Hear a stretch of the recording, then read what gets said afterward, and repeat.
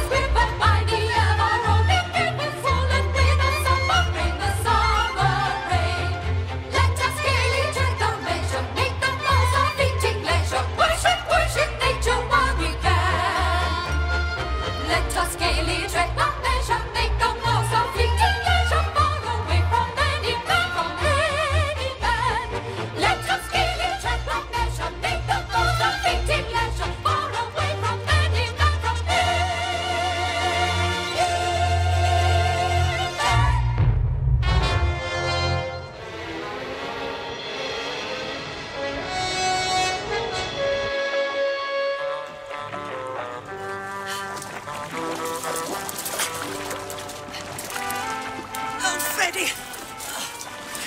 You always were a careless boy. Thank you. By the way, is that a definite no back there? Ruth, I don't want to hurt your feelings, but tell me honestly. Now, compared to other women, are you beautiful? Oh, I have been told so. Ah, but lately? Yeah. By Samuel. Because he was drunk at the time.